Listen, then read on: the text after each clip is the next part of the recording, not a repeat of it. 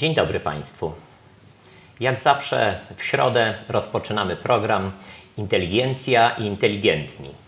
Dzisiaj moim gościem jest Grzegorz Muszyński.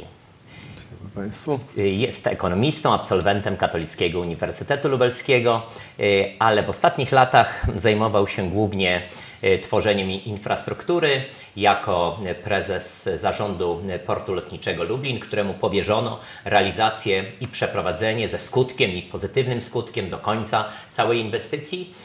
Ale później Grzegorz Muszyński także stał się samorządowcem. W 2014 roku kandydował do Sejmiku Województwa Lubelskiego, jednocześnie będąc kandydatem na prezydenta miasta Lublina. Dziś jest samorządowcem, radnym Sejmiku, a ponieważ jest 27 maja, a więc 25. rocznica pierwszych wolnych, demokratycznych wyborów do samorządu gminnego, a więc Dzień Samorządowca, to warto spotkać się w tym gronie. Ale mnie jak zawsze tego y, takiego ciągłego dylematu nie mogę rozwiązać. Y, dlaczego y, polska inteligencja i polskie elity są tak mocno wycofane z życia publicznego, albo też są mocno wypychane z życia publicznego, ale w przypadku, yy, gdy rozmawiam z Tobą, interesuje mnie, dlaczego nie, nie, jesteśmy w stanie dzisiaj w Polsce, po 25 latach, bo świadczą o tym liczne przykłady, yy, nawiązać do tego etosu yy, zdolności Polaków do tworzenia finezyjnej, niezwykle ofensywnej, nowoczesnej, technologicznie, wspaniale wykonanej, z ogromnym sukcesem międzynarodowym i polskim infrastruktury. Dlaczego kiedyś w XIX wieku potrafiliśmy wybudować kolej w Andach i przerzucić y, most przez Zatokę San Francisco, y, a y, także wybudować kolej transsyberyjską czy wiele innych rzeczy, nawet odbudować Warszawę po II wojnie światowej, jeszcze siłami ludzi okresu przedwojennego. A dzisiaj, no, czego byśmy nie dotknęli, czy to są autostrady, czy gazoport, czy, czy y, instytucje kubaturowe, kolej. czegokolwiek. No już kolej, o tym w ogóle nie wspomnę, o, tych, o tym szalonym projekcie, chociażby na naszym przykładzie, tym szalonym projekcie y, y, związanym z tunelem nad ulicą Kunickiego czegokolwiek byśmy nie dotknęli, to jest albo opóźnienie, albo podrożenie, albo y, unieważnienie przetargu, albo wygonienie wykonawcy. Generalnie na czym polega, że, że, że, to, że ta infrastruktura dzisiaj nie jest przez Polaków dobrze finezyjnie tworzona? Jeszcze Orlik jako tako, prawda? Jeszcze Orlik jako tako. Jeszcze no, proste chodnik, zadanie. Jeszcze chodnik w gminie Bo jako tako, zadanie. prawda? Ale gdy przychodzi do naprawdę ambitnego zadania, nawet Stadion Narodowy przecież, jako, jaka to była męka, no czego by nie dotknąć, prawda? To jest wszystko, no no każda rzecz. To jest ogromna męka. W czym widzisz tą przyczynę? Przecież jest, mamy, jesteśmy kreatywnym społeczeństwem. Myślę, że zawsze najłatwiej jest zwalić trochę na historię i wtedy jest nam lżej. Myślę, że w tym przypadku też można troszeczkę usprawiedliwić ten fakt historią, czyli e, II wojną światową e, i sprytnym podejściem Niemców i Rosjan do, e, no co tu dużo mówić, wybicia polskiej elity, polskiej inteligencji, która się odradza, jak widzimy, nie tu w 50 lat trudno odrodzić. To jest pierwsza sprawa, która najszybciej i najłatwiej przychodzi usprawiedliwić ten fakt. Druga sprawa to jest jednak e, dobór kadr. Kluczem jest dobór kadr. E, tutaj możemy się odwołać do wspólnej historii, e, bo pan był wtedy wicemarszałkiem województwa lubelskiego, radnym, radnym wojewódzkim, też i, i przewodniczącym Rady Nadzorczej Portu Lotniczego. Ja zostałem wtedy za pana kadencji powołany do, na prezesa portu i daliśmy radę to wybudować. Czyli dobór kadr. Kluczem jest dobór kadr i patrzenie na wspólny interes, wspólny interes któremu na imię Lubelszczyzna, e, Wielkopolska, oczywiście finalnie Polska. To, co my robiliśmy na, e, w porcie, to przypomnę, to e, dzieliliśmy maksymalnie zamówienie tak, żeby dopu, do, dopuścić jak najwięcej polskich, e, lubelskich, polskich firm. Dopiero później wiadomo, że e, prawo zamówień publicznych daje możliwość przystąpienia każdemu. Niemniej jednak, kiedy budujemy drogę, no chociażby wspomnianą siedemnastkę, jest pytanie, czy ogrodzenie wzdłuż drogi e, S17 musi być zlecane wielkiemu koncernowi międzynarodowemu? Przecież to jest w zasadzie każdy, y, powiem brutalnie, każdy chłop na wsi umie zrobić ogrodzenie. Czy to musi być zlecone w wielkim zamówieniu, czy to nie może być e, niezależny projekt, czy nasadzanie drzew, które dobrze czy niedobrze, ale jest na, na, na, nasadzane wzdłuż e, drogi, e, na szczęście przy 17 w e, dalszej odległości, czy nie może to zrobić polska firma, czy to musi być w jednym worku gigantycznego zlecenia, to jest pytanie, jak ci, którzy mm, przygotowują, są w stanie e, e, przetarg podzielić tak, żeby dopuścić e, pol, lubelskie, polskie firmy. Gazoport jest kapitalnym przykładem. Czy przypadkiem nie wiemy, e, że za e, włoską firmą stał e, rosyjski kapitał. No przecież wpuściliśmy lisa do kurnika i się dziwimy, że coś nie idzie. No dobrze, ale czy to oznacza, że jednak to jest w sferze konceptualnej, czy w sferze wykonawczej, czy to jest wszystko razem? Wszystko. Czy ta selekcja, ta selekcja negatywna, czy ten problem doboru ludzi, no ale naprawdę tych ludzi nie ma? Czy, Co? ten, Ja czy myślę, został że- nam przetrącony jakiś genom y, zdolności do finezyjnego tworzenia infrastruktury? Przecież jeszcze ciągle nasze przedsiębiorstwa nawet w czasach socjalistycznych potrafiły realizować bardzo ciekawe przedsięwzięcia infrastrukturalne, nawet w krajach arabskich, czy nawet na zachodzie, w, Czech, w Czechach, czy w Czechosłowacji, prawda, wtedy, I, no jednak potrafiliśmy to robić. Ale no, to jest- dlaczego dzisiaj to wszystko idzie jak z kamienia? Tym bardziej, że pieniądz y, jest, no płynie y, wielkim strumieniem. Na przykład, dlaczego buduje się drogo? Buduje się długo i buduje się drogo. Ja myślę, że to jest e, to, e, jak... Mówię o publicznych inwestycjach. tak jak w powiedzeniu, że e, zły pieniądz wy, wypiera dobry pieniądz, tak samo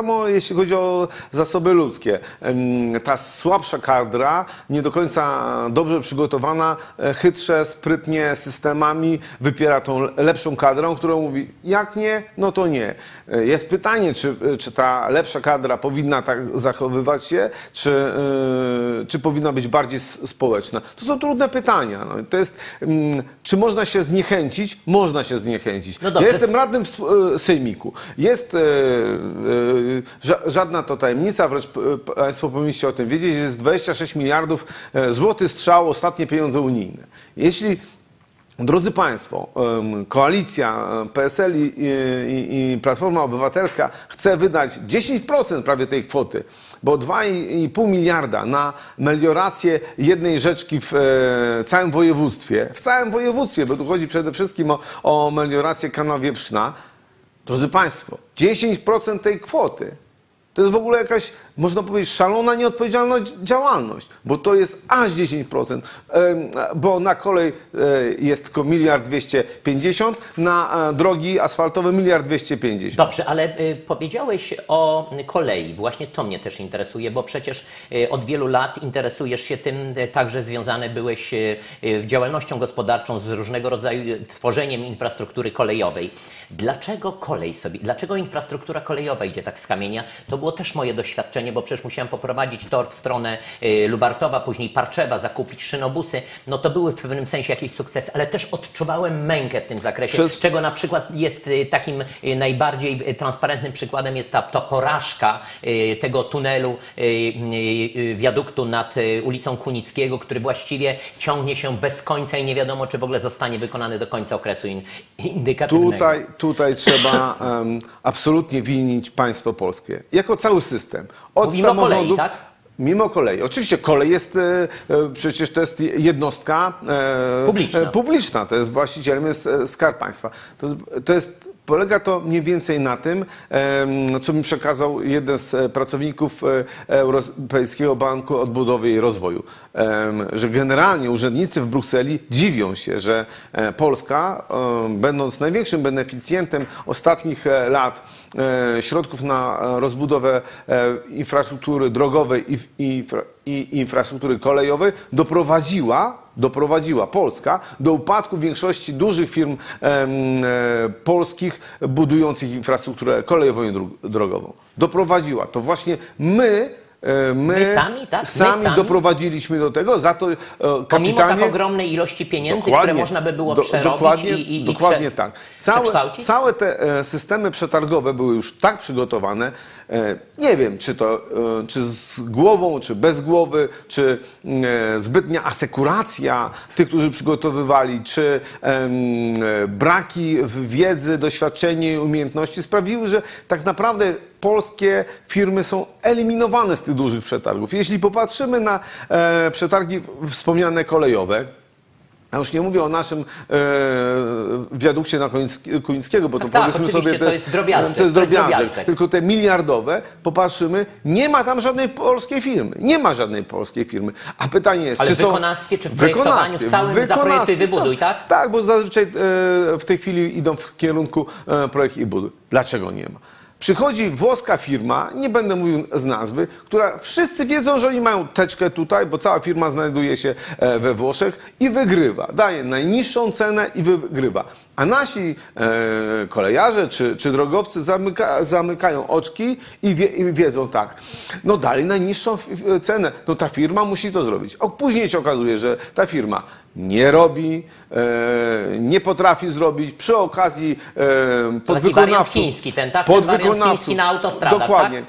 Podwykonawców polskich wyłoży, później e, PKP musi, PLK musi dodatkowo tym podwykonawcom i tak zapłacić, i tak zapłacić, bo jednak Ogłosić się, następny przetarg jeszcze po wyższych to się cenach wszystko przeszacowanych. rozciąga i zamiast było No taniej, no jest dobrze drożej. ale dlaczego tak się dzieje? No przecież E. jesteśmy, to jest nasze 5 minut, no to jest nasze 5 minut. W 20 roku środki Zły dobór ludzi. Tylko mogę tyle powiedzieć. Zły dobór Czyli ta ludzi. inteligencja, Nie inteligentni to nie jest, to nie jest to samo, to nie jest ta Nie, sama nie. sytuacja, jaką, jaka charakteryzowana na przykład budowniczych Centralnego Nie, Okręgu to nie. No, tak? Ja zapytałem ostatnio na, na sesji, e, panie marszałku, czy te dw- 26 miliardów to jest na miarę COPT-u?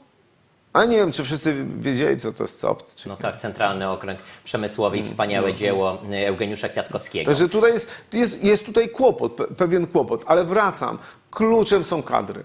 Są kadry. Czyli jednak ludzie, czyli jednak inteligencja, pierwsze inteligentni, także po, w sferze po pierwsze, technicznej. po pierwsze człowiek, bo jeśli będą e, do, dobrze dobrani ludzie, e, to będzie i PKP PLK kapitalnie działała, i GDAK, albo patrzmy co się dzieje. Prezes PKP PLK od dwóch miesięcy niewybrany, wakat. E, Dyrektor generalny budowy dróg i autostrad niewybrany.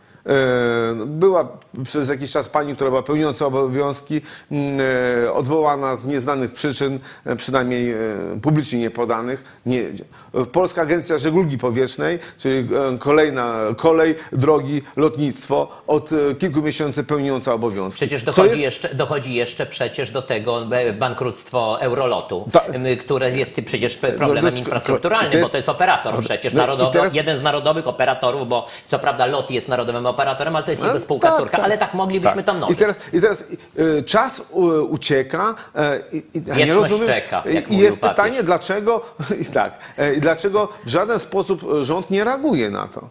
Już nie będę mówił o ZUS-ie, że nie ma pre- prezesa Tak, ZUS-u, bo to, jest, bo to nie jest e, O temat. Ale chodzi, porozmawiamy z kimś innym. Chodzi o pewien e, styl sprawowania władzy. Styl sprawowania władzy, który e, raz na jakiś czas e, każe nas pytać, czy leci z nami pilot, bo to nie jest pewne, czy leci z nami pilot. Dobrze. A jeśli nawet leci, to, to w którym kierunku? No to Tak. jak można zarządzać firmą typu PKP PLK, która ma największą kwotę w, e, w tym momencie do wydania, wydatkowania na rozbudowę infrastruktury, jeśli od kilku miesięcy nie ma prezesa? Dobrze.